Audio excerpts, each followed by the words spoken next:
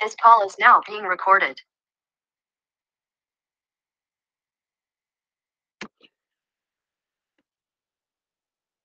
Decolonizing Social Sciences to Revisit Indian Culture and Tradition part 5 अर्थात भारतीय संस्कृति एवं परंपरा के पुनरावलोकन के लिए समाज विज्ञानों की औपनिवेशिक मुक्ति भाग पाँच में आप सभी का संस्कृत विभाग एवं S D H D research and training centre Sanatan Dharma college Ambala छावनी की ओर से स्वागत है।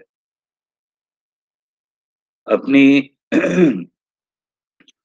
व्याख्यान श्रृंखला में आज हमने जो विषय लिया है, वो है संस्कृत शास्त्रीय क्रिटिक ऑफ़ लीडरशिप नेतृत्व की अवधारणा की संस्कृत शास्त्रीय मीमांसा कि संस्कृत शास्त्र इस सारे नेतृत्व की अवधारणा को किस प्रकार देखता है या देखा गया है, ये उस विषय को लेकर के आज हम थोड़ी सी चर्चा करेंगे। और इस सारी चर्चा को आप अगले आने वाले जो व्याख्यान है, उसकी पूर्व भूमिका, पूर्व पीठिका के रूप में देखेगा क्योंकि आगे चल करके हम सुशासन गुड गवर्नेंस के ऊपर बात करने जाएँगे अगले व्याख्यान में। तो ये उसकी एक तरह से नेतृत्व जो है, वो एक तरह की पूर्व पीठिका या भूमिका को आप समझ सकते हैं। तो विषय की ओर सीधे आते हुए आप सभी जानते हैं कि नेतृत्व बहुत महत्वपूर्ण है, चाहे वो मैनेजमेंट में नेतृत्व को लीडरशिप को पढ़ाया जाता है या अन्य सब विषयों को लेकर के पढ़ाया जाता है, लेकिन संस्कृत शास्त्रों में आपको तीन तरह की लीडरशिप की बात मिलती है। और साथ ही साथ हम कुछ लोगों को भी देखेंगे कि वहाँ पर लीडरशिप के विषय में कहा किया गया है। तो संस्कृत शास्त्रों में और साहित्य में, शास्त्र और साहित्य में आपको पॉलिटिकल लीडरशिप के विषय में जानकारी मिलती है, लेकिन पॉलिटिकल लीडरशिप के साथ ये भी कहा गया है आपको अर्थशास्त्र में देखने को मिलेगा, आपको अन्य धर्म शास्त्रों में देखने को मिलेगा और साहित्य में देखने को मिलेगा, चाहे वो कालिदास के रघुवंश आदि हैं या उनके नाटक हैं या अन्य जितने भी नाटक हैं, उन सब नाटकों में आपको देखने को मिलेगा कि पॉलिटिकल लीडरशिप जो है वो कन्फाइंड टू बाउंड्रीज है। यानी कि जो एक निश्चित भूभाग है वहीं तक पॉलिटिकल लीडरशिप रहती है और ये बात आज भी उतनी ही सत्य है कि वो अमेरिकन लीडरशिप हो तो पॉलिटिकल लीडरशिप जो है वो बाउंड्रीज तक कन्फाइंड है या अन्य देशों की या अपने भारत की। दूसरी लीडरशिप है बिज़नेस लीडरशिप लेकिन उस बिजनेसशिप बिज़नेस लीडरशिप के बारे में कहा गया है कि उसकी कोई सीमाएँ नहीं होती, क्योंकि बिजनेसमैन ने सब जगह बिज़नेस करने जाना होता है, वो कहीं भी जा सकता है, कहीं भी घूम सकता है। इसके उदाहरण हमें मिलते हैं पंचतंत्र जैसे साहित्य में। और तीसरे प्रकार की जो लीडरशिप होती है वो रिलीजियस लीडरशिप होती है। और वो limited to faith religious leadership का मतलब है संप्रदाय। इसको धर्म से कंफ्यूज ना की, किया जाए क्योंकि धर्म जो है वो कोई लीडरशिप की बात नहीं है। वो हर किसी को अपना धर्म जो है वो पालन करना होता है। लेकिन रिलीजियस का मतलब है कि यहाँ संप्रदाय। तो संप्रदाय की जो लीडरशिप है नेतृत्व है वो अपने अपने जो अनुयायी हैं अपने फॉलोअर्स हैं वहाँ तक वो सीमित रहती है। तो इन तीन प्रकार की जो लीडरशिप है वो आपको संस्कृत शास्त्रों में देखने को मिलती है। अब इस लीडरशिप को लेकर के तो आपको सामान्य रूप से जो दो बातें पढ़ने में आएँगी देखने में आएँगी वो है आ, अच्छा रहेगा कि जब कभी कोई मैनेजमेंट में लीडरशिप पढ़ाए गुड गवर्नेंस या पब्लिक एडमिनिस्ट्रेशन में लीडरशिप को पढ़ाएँ पॉलिटिकल साइंस में लीडरशिप को पढ़ाएँ अगर संस्कृत के कुछ एक श्लोकों को और कुछ एक विचारों को कभी उसमें इंट्रोड्यूस कर सकें तो बहुत अच्छा होगा। नहीं तो वेस्टर्न लीडरशिप तो आप पढ़ा ही रहे हैं, उससे ज़्यादा संबंध हमारा नहीं है यहाँ पे। तो कुसुम स्तबक सेव द्वयी वृत्तिर मनस्विन मूर्धनि व सर्वलोक से विशीर्यते वनेत्वा। क्या कहना चाहता है? High souled person have only two states like that of a bunch of flowers either they have to be on the top of the whole world or they should wither away तो ये observation है आप देख सकते हैं भर्तृहरि के नीति शतक में कि लीडरशिप इस तरह से परिभाषित की है और ऐसी उसकी तुलना करके भी उसने दिखा दी, जो कि आसानी से समझ में आने वाली बात है। लेकिन साथ ही साथ एक और बड़ी सुंदर ऑब्जर्वेशन है, सर्वे यत्र विनेतारा, सर्वे यत्राभिमानिना सर्वे महत्व इच्छंती कुलम तदव यानी कि जहाँ बहुत सारे नेता हो जाएँ तो उस खतरे से भी वो आपको सावधान करते हैं। That country family race gets destroyed we are all prefer to be leaders all have egoistic tendencies all want to make their importance felt और इसका आज के दिन में बहुत महत्वपूर्ण उदाहरण, सीधा स्पष्ट उदाहरण हमारा भारतीय समाज है, हमारी पार्लियामेंट है, जहाँ हर कोई महत्वपूर्ण हो जा होना चाहता है और नेताओं में ही संघर्ष जो है, वो समाज का और प्रजा का जो है, वो अहित कर देता है। क्योंकि इतनी सारी पार्टी जो कि संविधान में जिसका कोई विधान ही नहीं किया गया है, इतनी सारी पॉलिटिकल पार्टीज़ जो हैं वो हमारी नेता बन रही हैं और अपनी-अपनी जो भाषा है, अपने-अपने जो उनके अवधारणाएँ हैं, उनके द्वारा वो हमें मिसलीड भी करते हैं और कंफ्यूज भी करते हैं। लेकिन अभी उस विषय पे नहीं जाएँगे वो समय आएगा तो उस विषय को भी लेंगे। लेकिन अभी ये सावधानी रखनी पड़ेगी किसी भी समाज को कि हर कोई जहाँ नेता बनने का प्रयास करेगा, वो समाज नष्ट भी हो जाएगा। आगे बढ़ने से पहले एक बात की ओर आप लोगों का ध्यान संस्कृत विभाग दिलाना चाहता है कि स्वतंत्रता संग्राम में लोक द्वारा स्वामी दयानंद को महर्षि की उपाधि दी गई, सुभाष चंद्र बोस को नेता की उपाधि दी गई, तिलक को लोकमान्य की उपालि उपाधि दी गई, सावरकर को वीर की, गांधी को महात्मा की, मालवीय को महामना पद से अभिहित किया गया। हालाँकि ये सभी नेता ही थे, लेकिन नेता पद सुभाष चंद्र बोस के लिए स्वीकृत किया गया, यह विचारणीय है। लोक के द्वारा स्वीकृत किया गया कि नेताजी उनके लिए ही पद प्रयोग किया गया। हालाँकि नेता सारे हैं, तो ये एक विचारणीय विषय है कि लोक भारतीय लोक मानस किस तरह के व्यक्ति को नेता स्वीकार करता है, वस्तुतः नेता स्वीकार करता है। बाकी ठीक है, हर पार्टी के जो नेता हैं, वो नेताजी हैं, लेकिन लोकमानस अनकंडीशनली जिसको स्वीकार किया, बिना किसी पूर्वाग्रह के, वो सुभाष चंद्र बोस हैं। तो इस पे थोड़ा-सा सोशल साइंटिस्ट को ज़रूर विचार करना चाहिए। अब ये भी देखने वाली बात है कि सोशल साइंटिस्ट नोइंगली और unknowingly follow only this model of promised land in management courses, isn't it so? जो ये आपको नीचे दिखाई दे रहा है कि सोशल साइंसेस में मैनेजमेंट में जो लीडरशिप का जो मॉडल पढ़ाया जाता है, सिखाया जाता है, उसकी जो अंतरधाराएँ हैं, उसके जो अंडरकरेंट्स हैं, वो कहाँ से आए हैं और किस तरह से उसको पढ़ाया जाता है, देखा जाता है और कैसे वो प्रभावी होता है। अब यहाँ पर आप एक्स एक्सिस और वाई एक्सिस पे देखिए कि जो सोशल साइंसेस में इसका मॉडल है लीडरशिप का, वो है एक्सोडस स्टोरी से शुरू होता है। वहाँ से है, वहाँ एक मसीहा है, एक प्रोफेट है और वो आपको लेकर के चलता है, वो आपको लीडरशिप प्रदान करता है। और निश्चित रूप से संस्कृत विभाग का मानना है कि हमें भारतीयता के बारे में पता हो ना हो, पौराणिक कथाओं के बारे में पता हो या ना हो, लेकिन निश्चित रूप से हमें जो ग्रीक है, जो अब्राहमिक रिलिजन्स हैं, जो वेस्ट है, उसके बारे में तो जानकारी होगी। तो एक्सोडस स्टोरी जो है, वो आप सभी जानते हैं कि इज़राइलीज़ जो हैं, जब स्लेवरी से बाहर निकले और अपने प्रोफेट के साथ, मूसा के साथ वो जाते हैं, उस प्रॉमिस्ड लैंड में जो इट वाज़ प्रॉमिस्ड देम कि it will he will lead them to land of milk and honey.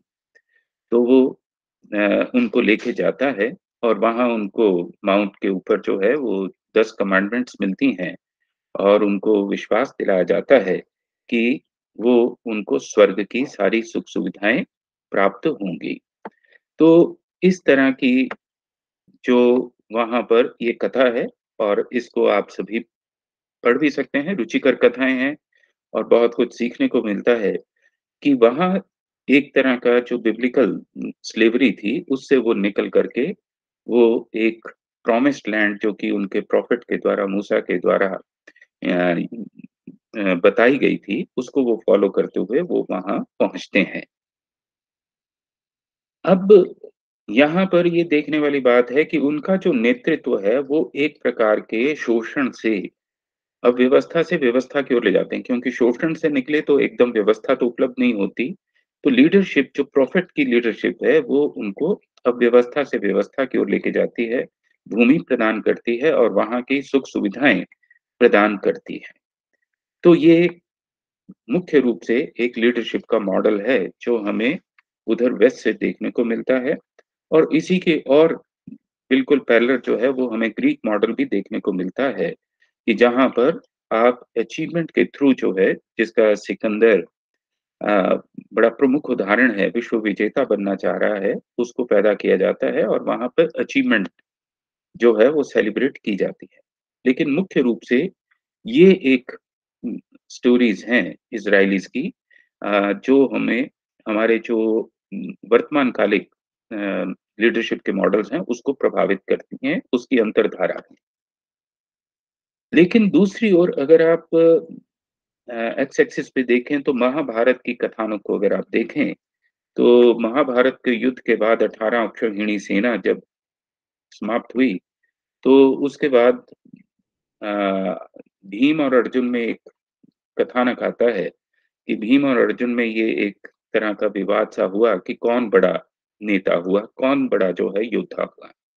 तो नेतृत्व को लेकर के उनमें एक मतभेद-सा है। तो आपस में बहस करते-करते उन्होंने कहा कि किससे पूछा जाए? तो कृष्ण ने उनको सजेस्ट किया कि उस पर्वत के ऊपर और पर्वत के ऊपर जो पेड़ है और उसके ऊपर जो बर्बरी का जो शिर है, उस शिर से जाकर के आप पूछो क्योंकि उसने सारे महाभारत के युद्ध को देखा है। तो दोनों उसके पास जाते हैं, भीम और अर्जुन और जाकर के पूछते हैं कि तुमने सारे महाभारत के युद्ध को देखा है, तुम बताओ कि इसमें से प्रभावी युद्ध जो है, नेतृत्व किसने किया, मैंने या भीम ने? तो बड़ा आश्चर्यकरी जो बर्बरीक का उत्तर था, वो था कि वहाँ पर मैंने न भीम को देखा, न अर्जुन को देखा, मैंने तो केवल ये देखा कि एक कृष्ण ही है जो सब जगह विद्यमान है हर स्थिति में, हर परिस्थिति में, हर जगह पर, हर एक्शन में केवल कृष्ण को ही देखा। तो कुल मिलाकर के अगर आप देखें, तो सारा का सारा ज़ोर किस चीज़ के ऊपर है? वो है दृष्टिकोण के ऊपर, दर्शन के ऊपर, पर्सपेक्टिव के ऊपर। तो इसका मतलब है कि भारतीय संदर्भ में जो नेतृत्व होता है, वो मुख्य रूप से दृष्टि के ऊपर है, दर्शन के ऊपर कि हाउ वन सीज़ वो निर्धारित करता है कि नेतृत्व क्या होता है और उसका जो दायित्व है, वो प्रकृति से संस्कृति की ओर लेकर के चलना है। प्रकृति से संस्कृति की ओर, जबकि आप एक्सोडस में आप देख रहे हैं कि प्रॉफिट क्या लेके जा रहा है कि उनको land of honey and milk की ओर लेके जा रहा है कि उनको सुख सुविधाएँ प्राप्त हों। और ऐसा नहीं है कि यहाँ पर ये चीज़ें नहीं रही हैं, लेकिन यहाँ पर भी कुछ सिमिलैरिटीज़ आपको दिखाई देंगी, समानताएँ दिखाई देंगी। अ, उससे पहले हम ये देख लेते हैं कि यहाँ पर नेतृत्व जो जिसको हम प्रकृति से संस्कृति कह रहे हैं, उसका क्या तात्पर्य है? सबसे पहले जो है वो आप नीचे की ओर देखिए कि आसुरी नेतृत्व हमें देखने को मिलता है। वो कभी शुंभ-निशुंभ के अर्थ में देखने को मिलता है, कभी वो दूसरे और असुरों के रूप में देखने को मिलता है। अ, उसमें नेतृत्व में क्या है वो उपभोग प्रधान है और विस्तारवादी होता है। ये ऐसा जो आसुरी नेतृत्व है कि जितना अधिक भोग सकते हो, उन भोगों को इकट्ठा कर लो, अपने लिए, अपने लोगों के लिए एकत्रित कर लो और जितना विस्तार तुम कर सकते हो, जितना प्रभाव डाल सकते हो, उन सबको अपने अधीन कर लो। तो इस तरह का आसुरी नेतृत्व रहा है। और दैवी नेतृत्व में अगर आप इंद्र, कार्तिकेय आदि का नेतृत्व देखें, युद्ध भी किए और स्वर्ग का जो अधिष्ठाता देवता है, राजा है, वो इंद्र है, नेतृत्व वो कर रहा है। वहाँ भी भोग प्रधान है क्योंकि हर तरह का भोग उपलब्ध है, लेकिन फिर भी वहाँ पर अस्थिरता विद्यमान है। एक तरह की जेलसीज़ वहाँ पर है, इनसिक्योरिटी वहाँ पर विद्यमान है, कि वहाँ पर निरंतर एक भय बना रहता है कि कहीं असुर आकर के आक्रमण ना कर दें और उनके भोगों को कोई और ना ले ले। तो एक तरह के ये दो मॉडल्स आप यहाँ पे भी देखते हैं कि सभी प्रकार की सुख सुविधाएँ और भोग उपलब्ध होने पर भी वहाँ पर एक असुरक्षा की भावना प्रधान रहती है और उसी के लिए निरंतर कार्य करना पड़ता है। और नीचे जो है कि वहाँ पर अपनी शक्ति से आप हर किसी का शोषण करके अपने लिए भोग जो है वो एकत्रित करते हैं और दूसरों पर अपना प्रभाव बढ़ाते चले जाते हैं। और शक्ति की मदान्धता जो है वो ज़्यादा प्रभावी होती है। तीसरी तरफ़ जो है, तीसरा स्तर जो है वो मानसी नेतृत्व का है, जो संस्कृत में आपको साहित्य में दिखाई देगा। वो जैसे कि रघु, दिलीप, रामकृष्ण आदि का नेतृत्व आपको देखने को मिलता है। लेकिन वो नेतृत्व कैसा है? यज्ञ कर्म प्रधान, कि आप अर्जन करेंगे, लेकिन किस लिए करेंगे? वो वितरण करने के लिए। आपको ऐसी कहानियाँ देखने को मिलेंगी कि जहाँ पर नेता होते हुए राजा जो हैं, वो अपना सर्वस्व दान करते हैं और मिट्टी के बर्तनों में अंत में जो भोजन कर रहे होते हैं। और इसी तरह से समय-समय पर वो यज्ञ करते हैं, जितना वो राजा राज्य में एकत्रित होता है, धन संपदा एकत्रित होती है, वो सारी की सारी जो है, यज्ञ के माध्यम से सभी में वितरित कर दी जाती है। अंतिम व्यक्ति तक वो धन संपदा पहुँचती है और राजा फिर पुरुषार्थ करता है। तो यज्ञ जो है वो एक तरफ़ से पुरुषार्थ का वाचक है और जिसमें अर्जन करना आपके लिए प्रथम आवश्यक शर्त है और फिर उसके बाद आपका वितरण करना ये दूसरा कर्तव्य है। और इससे क्या है, यहाँ पर उदात्तता का भाव है। वो रघु, दिलीप, रामकृष्ण ये अहंकार नहीं कर सकते कि हमने एकत्रित किया और हमने ये कर दिया, ये उनका धर्म है। इसका रिलिजन से कोई संबंध नहीं है। तो इसलिए नेतृत्व जो है वो भारतीय संस्कृति में प्रकृति से संस्कृति की ओर है, प्रकृति से विकृति की ओर नहीं जाती। तो इसलिए इस बात को अगर हम अपने मैनेजमेंट में, अपने सोशल साइंसेस में, अपने पब्लिक एडमिनिस्ट्रेशन के में एडॉप्ट कर सकें कि यज्ञ कर्म प्रधान प्रकृति से संस्कृति की ओर ले जाने वाली जो उदात्तता का भाव है, उसको हम कहते हैं नेतृत्व। सही में वही नेतृत्व है, अन्य जो नेतृत्व है वो गौण है इस दृष्टि से जो दैवी नेतृत्व है वो भी मनुष्य नेतृत्व से नीचे है और आसुरी नेतृत्व तो नीचे है ही है। तो कुल मिलाकर के आप ये देख सकते हैं कि तीन लोग हमें जो हैं वो नेतृत्व के माध्यम से मिलते हैं। एक स्वर्गलोक जिसकी चर्चा हम कर चुके हैं, दैवी है, वैकुंठ लोक और शिवलोक। वैकुंठ लोक और शिवलोक ये दो जो लोक हैं, इसके विषय में थोड़ा-सा इतना जान लेना पर्याप्त होगा कि शिवलोक में हर प्रकार की अभयता है। भूख, बुभुक्षा जिसे आप कहते हैं, कि यहाँ पे सर्वाइवल की वाली कोई बात ही नहीं है। क्योंकि आप हिमालय पे बैठे हैं जहाँ कोई किसी भी प्रकार की जो है वनस्पति नहीं होती, किसी अन्य प्रकार का नहीं है, लेकिन फिर भी वहाँ भूख नहीं है। तो ऐसी संस्कृति जो भूख से मुक्त हो चुकी है और दूसरा वहाँ पर किसी भी प्रकार का भय नहीं है, क्योंकि शिव के पास देवता, असुर, राक्षस, मनुष्य सब विद्यमान हैं और विपरीत स्वभाव वाले प्राणी भी विद्यमान हैं, लेकिन कोई किसी के साथ हिंसा नहीं कर रहा। मोर है जो कि विरोध में है साँप के साँप के साथ, शेर है, शेर के साथ जो बैल है और अन्य जितने भी प्राणी हैं, वो सारे के सारे वहाँ पर विद्यमान है तो कुल मिलाकर के शिवलोक का एक ऐसा कॉन्सेप्ट है, वो क्या है कि जहाँ ना भय है, न फ़ियर है, न प्राइमोडियल फ़ियर है, न प्राइमोडियल हंगर है। तो सर्वाइवल की सारी चीज़ें वहाँ पर जो है वो समाप्त हैं।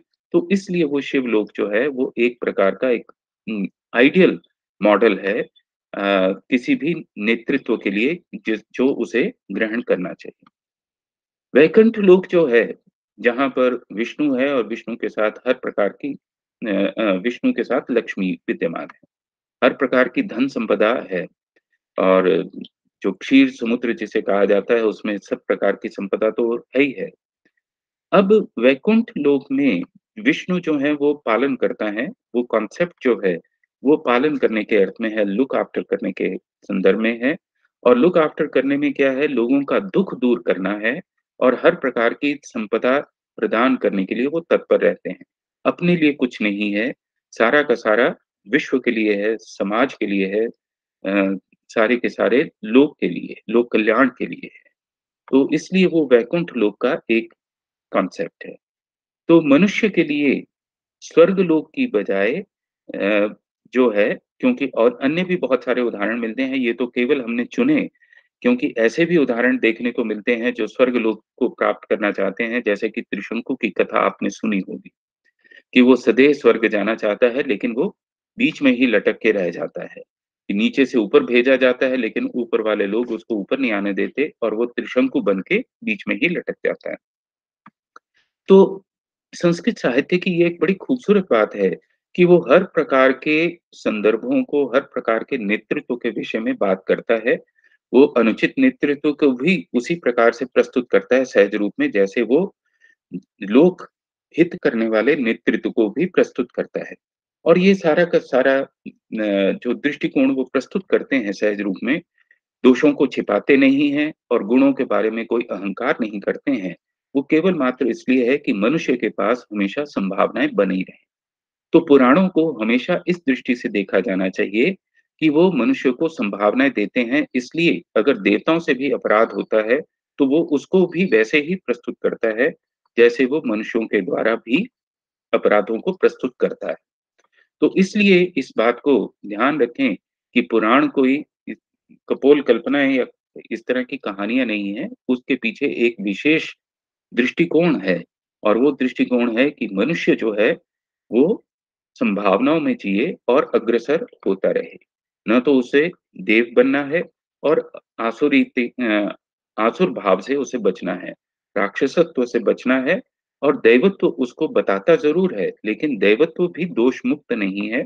ये उसके पास उसके मनुष्य होने की संभावनाओं को प्रबल करता है और अधिक विकसित करने का मौका देता है।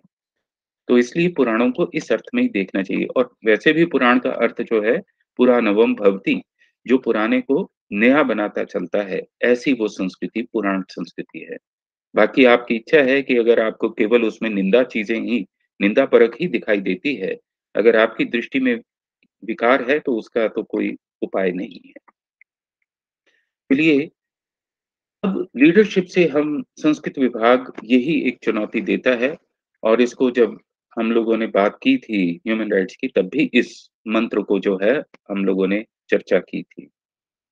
अ, संस्कृत विभाग किसी भी नेता को, चाहे वो वेस्ट का कोई भी लीडर हो भारत का हो, एशिया का हो, बेस्ट पॉसिबल जो लीडर है, क्या वो इस तरह की घोषणा कर सकता है, "न मे स्तेनो न कदरियो न मद्यपा" या वो इस तरह का कोई मॉडल दे सकता है, "नाना हिताग्निर न विद्वान न स्वैरी स्वैरिणी कृतः" छांदोग्य उपनिषद का है अशोकति आख्यान से कि मेरे जनपद में, मेरे नेतृत्व में जो जनपद है, न तो उसमें कोई चोर है, न कुत्सित व्यवहार करने वाला है, न मद्यपाई है, न कोई गृहस्थी है, जिसके घर में अग्नि स्थापित ना हो। कोई अविद्वान नहीं है, न स्वेच्छाचारी पुरुष है, तो स्वेच्छाचार करने वाली स्त्री कहाँ होगी? और ध्यान रखिएगा कि यहाँ स्वेच्छाचार शब्द है, न कि स्वतंत्रता। कहीं आप स्वेच्छाचार जैसे कि आप लोग फ्रीडम का अर्थ स्वतंत्रता कर कर देते हैं, बिना जाने उन अर्थों को ना उसके संदर्भ पता होते हैं, तो इस तरह का अनाचार हम ना करें। स्वेच्छा का मतलब जो है इर्रेस्पॉन्सिबल बिहेवियर है, लेकिन उसका स्वतंत्रता से कोई संबंध नहीं है।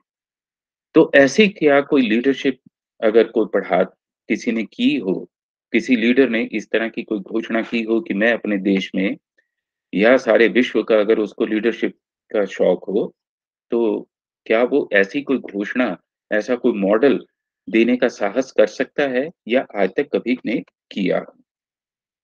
खैर, थोड़ा-सा बात को और आगे बढ़ाते हैं, तो इसमें देखिए कि लीडरशिप के जो 3 भाग जिनकी चर्चा हम कर रहे थे, वहाँ पर ग्रीक ट्रेडिशन में जो लीडरशिप है वो अचीवमेंट इज़ सेलिब्रेटेड। वहाँ आपकी उपलब्धियाँ क्या हैं, इसी से जानी जाती हैं।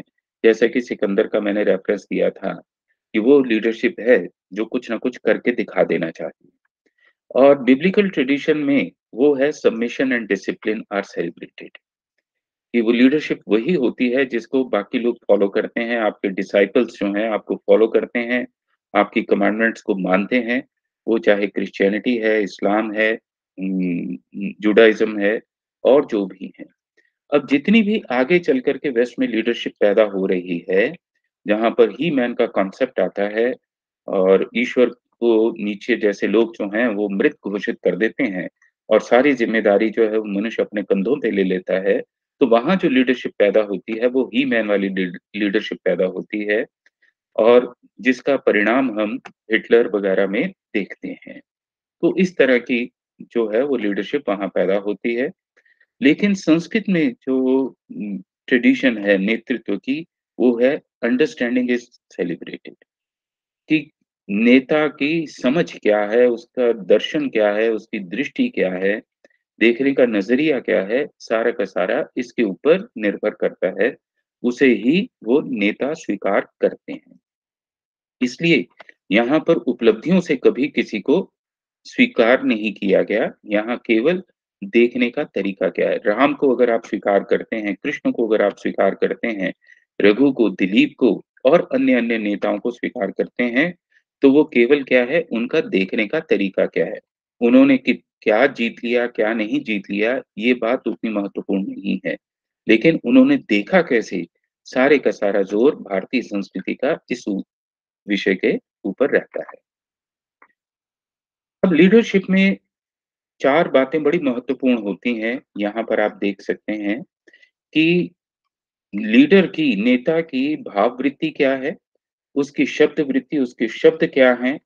उसकी ज्ञान वृत्ति क्या है? और उसकी कर्म वृत्ति क्या है? यानी कि भा, भाव कर्म शब्द और ज्ञान ये चारों में जो सामंजस्य है वो नेतृत्व का आवश्यक भाव, भाग है। वो उसका इनमें समन्वय होना बहुत ज़रूरी है, नहीं तो लीडरशिप जो है, वो कहीं ना कहीं उसमें विकृति आ जाएगी। जैसा कि हम दैवी नेतृत्व में और आसुरी नेतृत्व में देखते हैं तो वहाँ अहंकार की शब्द आ जाएँगे, ज्ञान विकृत हो जाएगा, कर्म में विकृति आ जाएगी भाव दुष्टता आ जाएगी, लेकिन जहाँ मानुषी नेतृत्व की बात है वहाँ पर आप देखेंगे कि चारों में एक समन्वय है। और ये समन्वय किसी भी पब्लिक एडमिनिस्ट्रेशन या सोशल साइंसेज में नहीं पढ़ाया जाता। वो अन्य ही व्याख्याएँ करने लग जाते हैं कि ऐसा उसने व्यवहार किया। जबकि ये बेसिक मॉडल है कि नेता अगर आप नेतृत्व का दायित्व लेना चाहते हैं तो इन चारों बातों में आपके जो है, वो समन्वय होना आवश्यक है। उन चारों का संयोजन, समायोजन आप में उचित रूप में होना चाहिए। अगर एक में भी अधिक या कम होगा तो आपकी लीडरशिप में दोष आएगा, नेतृत्व में एक हिंसा का भाव उत्पन्न हो जाएगा, विकृति पैदा होगी, जो कि समाज को चल के आगे प्रभावित करेगी। अब इस लीडरशिप में एक और होती है एम्बिशन जो हम सिखाते हैं कि कुछ करके दिखाओ। बी समथिंग डू समथिंग सारी की सारी एजुकेशन सारे का सारा पब्लिक एडमिनिस्ट्रेशन सारा का सारा सोशियोलॉजी और कॉमर्स मैनेजमेंट जो है, वो इस एम्बिशन पर निर्भर करता है। और इस एम्बिशन में आप जानते हैं कि इस एम्बिशन को पूरा करने के लिए आप कितनी वायलेंस करते हैं और इसके पर्याप्त उदाहरण आपको देखने को मिलते हैं। दो वर्ल्ड वॉर्स में तो मिल ही गए हैं, उसके बाद कितने और वर्ल्ड हमने वॉर्स कर ली हैं। वो सारे आपके सामने परिणाम है। चाहे वो इराक वॉर रही है, चाहे वो अफ़गानिस्तान की रही है, वियतनाम की वॉर रही है और बहुत सारी जो हैं अफ्रीका में जितनी वॉर्स रही हैं, वो सारे के सारे क्या है एम्बिशन के परिणाम है। लेकिन दूसरी ओर विजन की बात है, जिसकी संस्कृत विभाग समर्थन भी करता है, जिसको चाहता है कि दर्शन, ये कॉन्सेप्ट इंक्लूड होना चाहिए सोशल साइंसेस में पब्लिक एडमिनिस्ट्रेशन में पॉलिटिकल साइंस में। और विजन क्या होता है? वेल बींग का विजन होता है कि कल्याण हो मंगल हो समाज का राष्ट्र का मनुष्यता का कल्याण हो और संभावनाओं में लोग जीत सकें। अपने अपने व्यक्तित्व को विकसित कर सकें, उन संभावनाओं को और अग्रसर कर सकें, इसके लिए भारतीय जो संस्कृति है, संस्कृति विभाग इसके ऊपर अधिक फ़ोकस करता है। लेकिन जब आप एम्बिशन को लीडरशिप का आवश्यक तत्व मान लेते हैं, तो क्या होता है जो एक्सटेंडिंग द एक्जिस्टिंग होता है। एम्बिशन का मतलब क्या है कि जो आपके पास है, आप उसका और अधिक विस्तार करना चाहते हैं और अधिक उसको खींचना चाहते हैं। अमेरिका अपना प्रभाव जगह-जगह फैलाना चाहता है और इस संदर्भ में वो क्या करता है, एक हाथ में वॉर लेके जाता है, आर्म्स एंड एम्यूनिशन लेके जाता है और दूसरे हाथ में हॉस्पिटल्स लेकर के जाता है, कि देखो हम मनुष्यता की बात करेंगे, लेकिन हिंसा साथ करेंगे। तो कुल मिलाकर के जो वेस्टर्न कॉन्सेप्ट ऑफ़ लीडरशिप है, वो वायलेंस और कंपैशन इन दो के बीच में स्थापित होती है और संस्कृत विभाग को ये कहने में कोई संकोच नहीं है कि टोटल लीडरशिप पिछले जो फ़र्स्ट वर्ल्ड वॉर से लेकर के या उससे पहले जिसमें कि कम्युनिस्ट लीडरशिप भी आती है और अन्य बाकी लीडरशिप भी आती हैं जिसे आप पूंजीवादी लीडरशिप कहते हैं, वो सारी की सारी इन दो के बीच में है कि एक और वॉयलेंस और दूसरी ओर हॉस्पिटल्स कंपैशन। वॉयलेंस जो है वो आपकी आर्म्स एंड एम्यूनिशन से सिद्ध होती है क्योंकि उसी की इंडस्ट्री विकसित हो रही है, दूसरी तरफ़ आपकी जो विकसित हो रही है वो हॉस्पिटल इंडस्ट्री विकसित हो रही है, जिसको आप कंपैशन के नाम पर विकसित करते हैं। तो ये आप मुखौटे लगा कर के कंपैशन और वॉयलेंस के मुखौटों के साथ, इन दो हाथों के साथ आप अपनी लीडरशिप चलाते हैं। लेकिन जो भारतीय संस्कृति या संस्कृत की संस्कृति या संस्कृत विभाग की जो संस्कृति है, उसमें लीडरशिप अगर उसमें वेल-बीइंग नहीं है, कल्याण नहीं है, मंगल नहीं है, श्री नहीं है, अभ्युदय नहीं है, निश्रेष नहीं है, तो वो उस लीडरशिप को अस्वीकार करता है। वो अपेक्षित नहीं है, मनुष्यता के लिए वो सबसे बड़ी खतरा है और संभावनाओं में जीना है। नेतृत्व वो है जो हर मनुष्य को अपने हर साथ के मनुष्य को संभावना प्रदान करता है कि तुम भी विकसित हो जैसा तुम जैसा तुम्हारा स्वभाव है, तुम्हारा अपना जो कल्याणकारी स्वभाव है, उसमें तुम विकसित हो। इसलिए लीडरशिप के लिए अगर आप यजुर्वेद को देखेंगे तो बहुकार शब्द आता है जिसका मतलब है राष्ट्र की उन्नति के लिए बहुत सारे कार्य करने हैं, तुझे बहुत सी योजनाओं को बनाना और कार्यान्वयन करना है। उसी यजुर्वेद में आप देखें श्रेयस्कर शब्द भी आता है कि तुझे बहुत सी जन कल्याणकारी कार्य करने हैं।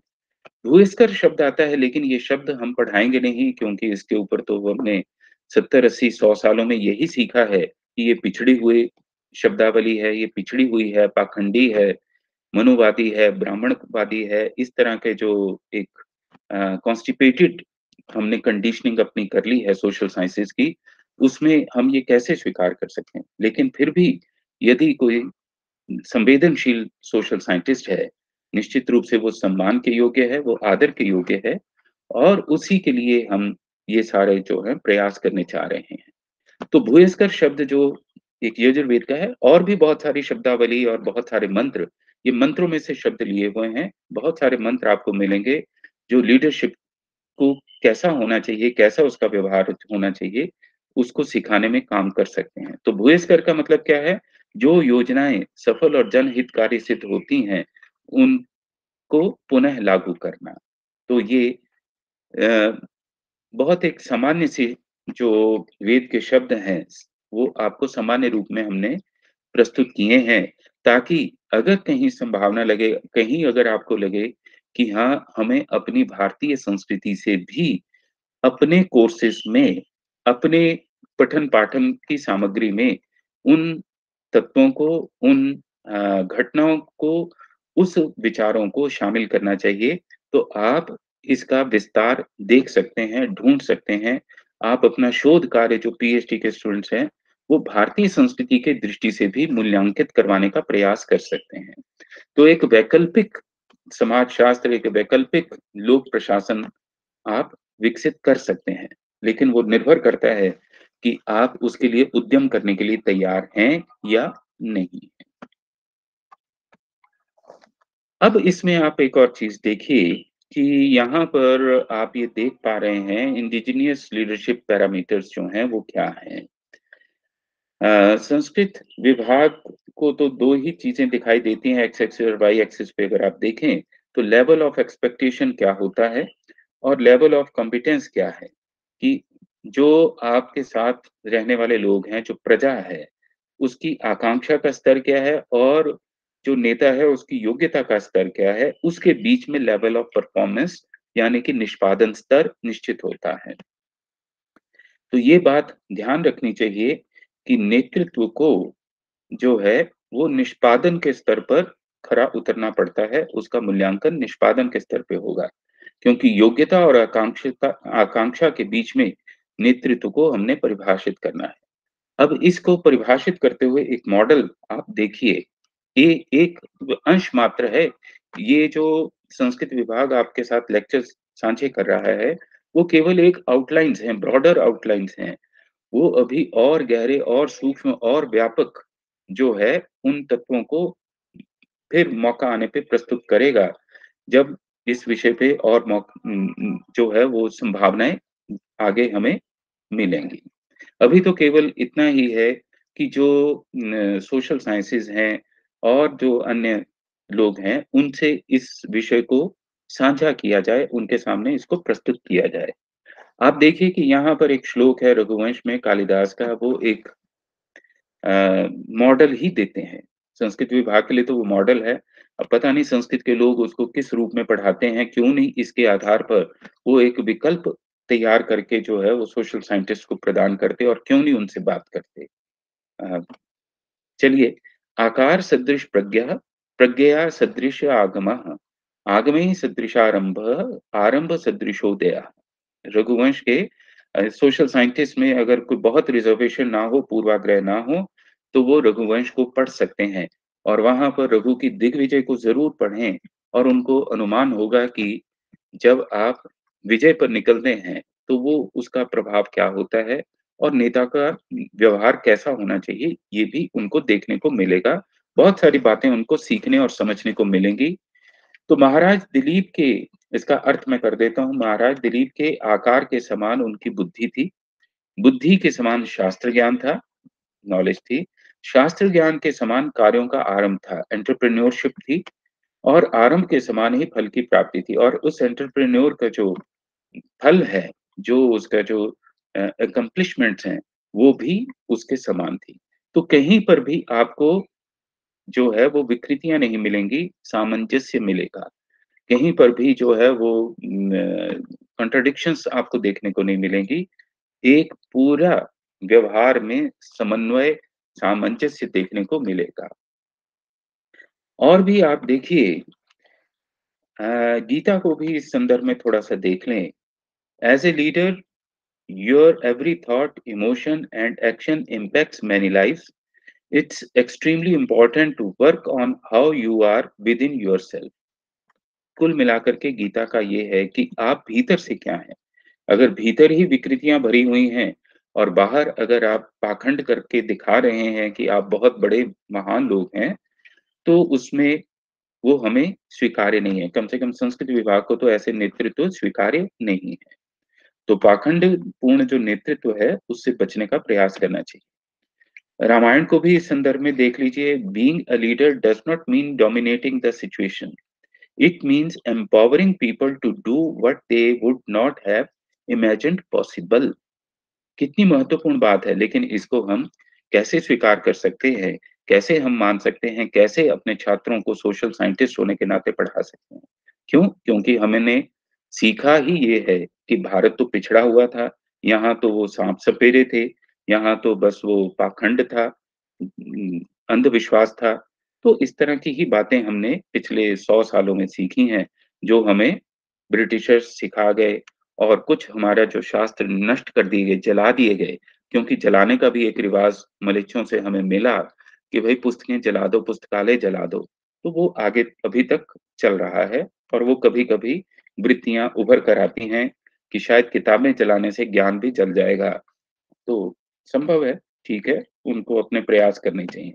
लेकिन इस पंक्ति को मैं दोबारा दोहराना चाहूँगा कि being a leader does not mean dominating the situation, it means empowering people to do what they would not have imagined possible. Ramayana इसका प्रत्यक्ष उदाहरण आपको देखने को मिलता है।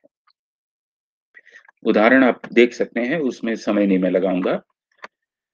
इसके बाद और देख लीजिए थोड़ी सी बात को आप संस्कृत शास्त्र के दृष्टिकोण से एक और आपके सामने जो है वो मोदी अंबानी, शाही इमाम और इस तरह के जो आपको लीडरशिप भारत में मिलती है और विश्व में लीडरशिप जो डोनाल्ड ट्रंप और मार्क बिडेन मार्क एलियट और ये पोप, फ्रांसिस आदि आदि इस तरह की पॉलिटिकल बिज़नेस रिलीजियस लीडरशिप आपको देखने को मिलती है। नाम ज़्यादा आपको पता होंगे, आप उसको देख सकते हैं। अब ऋग्वेद क्या कहता है इस विषय में? नेता चर्षणी नाम। जो मनुष्यों को, का नेता हो, जिसमें मनुष्यों को मार्ग दिखाने की और अपने पीछे लगाने की शक्ति हो। तो नेता चर्षणी नाम, ये मंत्र आता है तीसरे तीन छ, पाँच। तीसरे मंडल के छवें सूप का पांचवा मंत्र है, उसका ये एक भाग है। बाकी शेष आप पढ़ सकते हैं। अब संस्कृत शास्त्रों में आप, परंपरा में आप ये देख सकते हैं कि चार तरह की आपको लीडरशिप मिलती है, जिसमें से एक स्ट्रेटेजिक लीडरशिप आप कह सकते हैं, अंग्रेज़ी में इसीलिए कह रहा हूँ, क्योंकि उसमें आचार्य चाणक्य कृष्ण ये लीडरशिप आपको मिलेगी, जिन्होंने गुप्ता पीरियड में जो है लीडरशिप स्ट्रेटेजिक लीडरशिप को बनाया। महाभारत में कृष्ण जो है, वो स्ट्रेटेजिक लीडरशिप के उदाहरण हैं। डायरेक्टिव लीडरशिप जो है ऋषि विश्वामित्र और कृष्ण आपको उसके भी उदाहरण दिखाई देते हैं।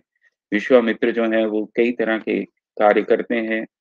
और फिर आपको टीम बिल्डिंग लीडरशिप जो है वो दुर्गा सप्तशती में मिलती है, जहाँ पर सप्शती ग्रंथ में सब प्रकार के जो देवी देवता हैं वो आकर के अपने अस्त्र शस्त्र जो हैं वो देवी दुर्गा को समर्पित कर देते हैं और वो जाकर के आगे असुरों से लड़ती है।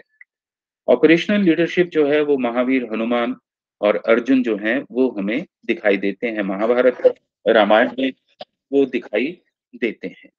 तो इस बात का हम ध्यान रखें कि इस तरह की जो लीडरशिप है, वो चार प्रकार की लीडरशिप हमको देखने को मिलती है। और इसको अगर आप देखें लीडरशिप के लिए क्या कहा जा रहा है? भद्रा नो हस्ता सुकृता। ऋग्वेद में ये कहा गया है कि जिसके हाथ कल्याणकारी उत्तम कर्म करने वाले हों, उसे नेता होना चाहिए। और इसी प्रकार एव हस्य शून्यता ऋग्वेद के प्रथम मंडल के आठवें सूक्त का आठवां मंत्र है, जो मधुर एवं सत्य वचन बोलता हो। पता नहीं कितने लीडर आज सत्य वचन बोलते हैं और मधुर वचन बोलते हो। और फिर उसके बाद ऋग्वेद में तीसरे मंडल के बावनवें सूक्त के प्रथम मंत्र में वीरता मायम निर्णाम जो मनुष्यों में सबसे अधिक वीर हो वो नेतृत्व के योग्य होता है। तो कुल मिलाकर के संस्कृत के जो विभाग हैं यूनिवर्सिटीज के उनको इस तरह से अगर अगर वो इस तरह का कोई प्रयास करें इस तरह से क्वेश्चन पेपर्स को डिज़ाइन किया जाए इस तरह से सिलेबसिस को बनाया जाए आ, तो मुझे लगता है कि संस्कृत के विद्यार्थी बहुत प्रभावी हो सकते हैं। और वो निश्चित रूप से अपनी ओपिनियन भी रख सकते हैं समाज के बारे में और वो चुनौती भी दे सकते हैं जो अन्य विषयों के लोग उभर कर आते हैं और नेतृत्व करने का प्रयास करते हैं।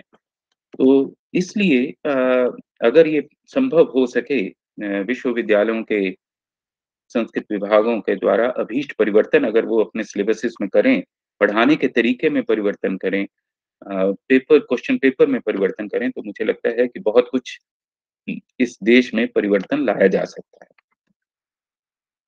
अब नेता और नेतृत्व जो है, उसके विषय में भी देख लें कि उसमें दो बातें महत्वपूर्ण होती हैं, न्याय और नीति।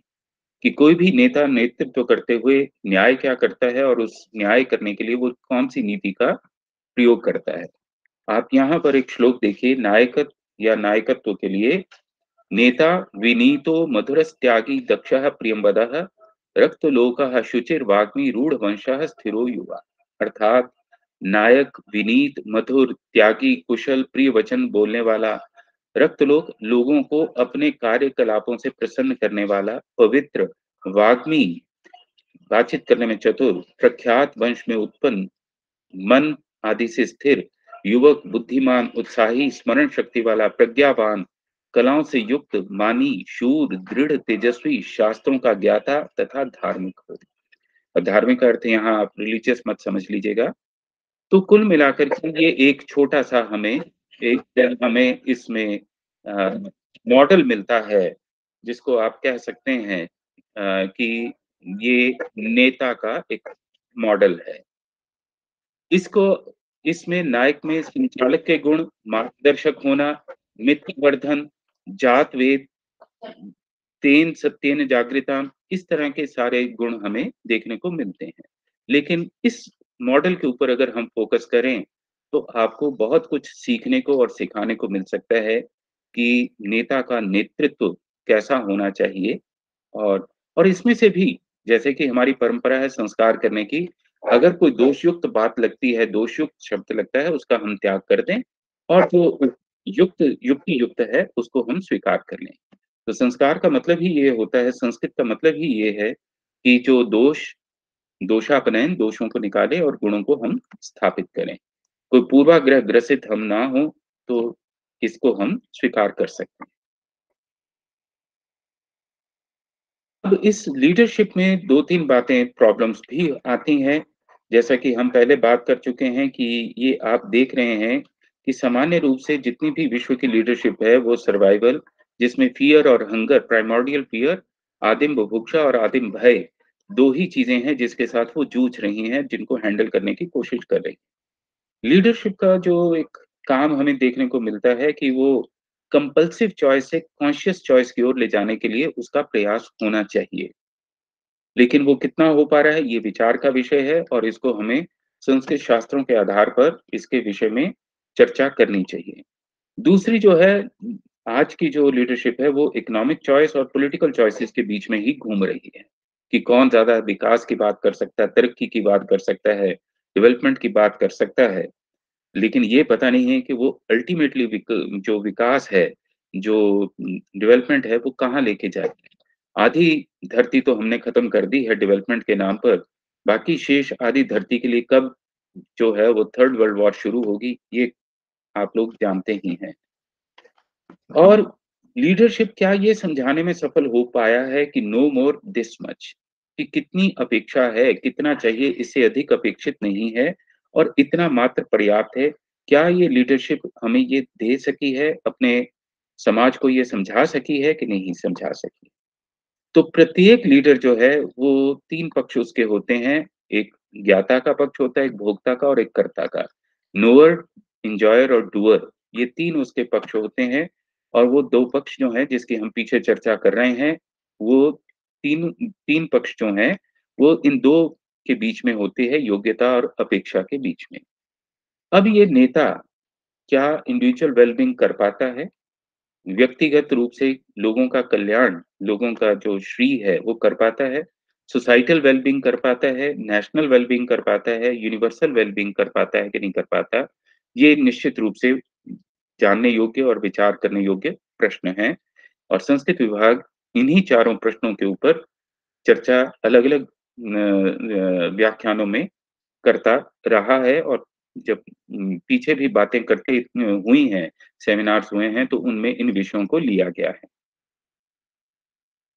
अब ये भी जानना बहुत ज़रूरी है कि तीन तरह की जो कंट्रोडिक्शन होती हैं, हर नेतृत्व में जो उसको हैंडल करनी पड़ती हैं। How does leaders deal with primary moving and dangerous contradictions in the democracy constitution money power political power human behaviour hypocritic civil society and other factors क्योंकि प्राइमरी कॉन्ट्रडिक्शंस और मूविंग कॉन्ट्रडिक्शंस और dangerous contradictions जिसको हम अभी आगे चल करके लेंगे, अगले वाले गुड गवर्नेंस वाले इशू में उसको ज़्यादा स्पष्ट करेंगे कि ये प्राइमरी और मूविंग और डेंजरस कॉन्ट्रडिक्शंस क्या होती हैं, इसको हम देखेंगे। ये बिल्कुल वैसी ही बात है जैसे आप संविधान में बहुत सारे अधिकार देते हैं, लेकिन आप व्यवहार में उन अधिकारों का हनन कर देते हैं। वो प्राइमरी कॉन्ट्रडिक्शंस हैं। मूविंग कॉन्ट्रडिक्शंस होती हैं कि सरकारें आती हैं और वो अपने अपने हिसाब से जो है वो पॉलिसीज़ को बदल देती हैं। पिछली पॉलिसीज़ जो हैं वो कुछ और होती हैं, आगे आने वाली पॉलिसीज़ कुछ और होती हैं। वो मूविंग कॉन्ट्रडिक्शन हो जाती हैं और डेंजरस कॉन्ट्रडिक्शंस हो जाती हैं कि जब आप जो पॉलिसीज़ बनाते हैं और जो आपकी संस्कृति है, लोगों के व्यवहारिक पृष्ठभूमि है, उसके साथ उसका जब तालमेल नहीं बैठता, तो आप समाज में एक क्योस की स्थिति पैदा कर देते हैं और सारी ए सभी लोग एक स्वच्छंद जो है वो व्यवहार करने लगते हैं। जैसे अलग-अलग प्रांत अलग-अलग स्वतंत्रता मांगने लगें और वो एक डेंजरस स्थिति को पैदा करते हैं। और इसमें दोष जो है वो नेतृत्व का तो होता ही है, लेकिन उस नेतृत्व के साथ आने वाले और जो मान्यताएँ हम बना देते हैं आधुनिकता के नाम पर, वो भी पैदा करती हैं। चलिए इस बात को हम लोगों ने पहले ही देख लिया था इसलिए इसको नहीं हम लेते। अ, तो कुल मिलाकर के हम अपने जो चर्चा है, आज का जो व्याख्यान है, यहीं पे पूरा करते हैं कि इस विषय को हम अगले भाग में लेंगे जहाँ पर हम गुड गवर्नेंस सुशासन तंत्र के ऊपर चर्चा करेंगे। तो ये उसकी पूर्व पीठिका के रूप में आप इस सारे विषय को देखिएगा, समझिएगा और अपने कमेंट्स आप दे सकते हैं, अपनी असहमति हमारे साथ जता सकते हैं। और अगर आप इसमें से किसी भी अंश से सहमत हों, तो प्रयास करिए कि वो जो है मुख्य धारा में आए, मेन स्ट्रीम में आए और इसके माध्यम से जो प्रचलित अपने ही प्रति हम लोगों ने एक जो निंदा का भाव पैदा कर लिया है, आत्मशंसिता को हमने खो दिया है, सेल्फ एस्टीम खो दी है, उसमें निंदा के भाव को दूर करें और आत्मशंसिता के भाव को जगाएँ। तो उस दृष्टि से इस सारे व्याख्यान को संस्कृत विभाग के इस व्याख्यान को आप देखिए, समझिए और अपनी जो जो भी टिप्पणियाँ हों, जो भी असहमतियाँ हों, वो हमारे साथ साझा करें। तो इसी के साथ आप सभी का आज के लिए धन्यवाद। बहुत-बहुत आभार।